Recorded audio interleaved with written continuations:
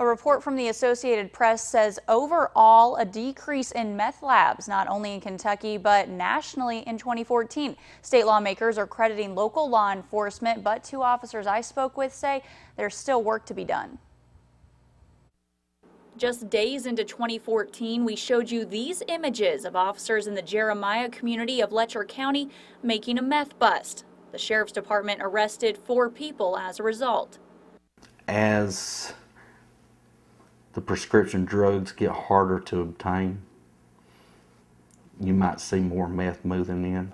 Sheriff's Deputy Eugene Sloan says it was the first of many meth labs officers would discover that year. We get calls on a weekly basis of whereabouts of, you know, a possible meth lab. And that's something that's still going on. However, an AP report indicates overall meth labs are decreasing nationwide. Statistics show in Kentucky there were more than 1,000 meth lab seizures in 2011. That number was down to around 600 by 2013.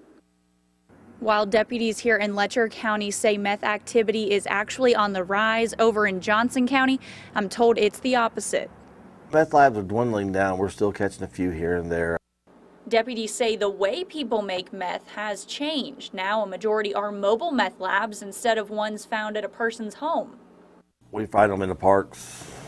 The last one we found was in a park. Uh, they're going to cemeteries. To... Officers say educating the public will help crack down on the problem.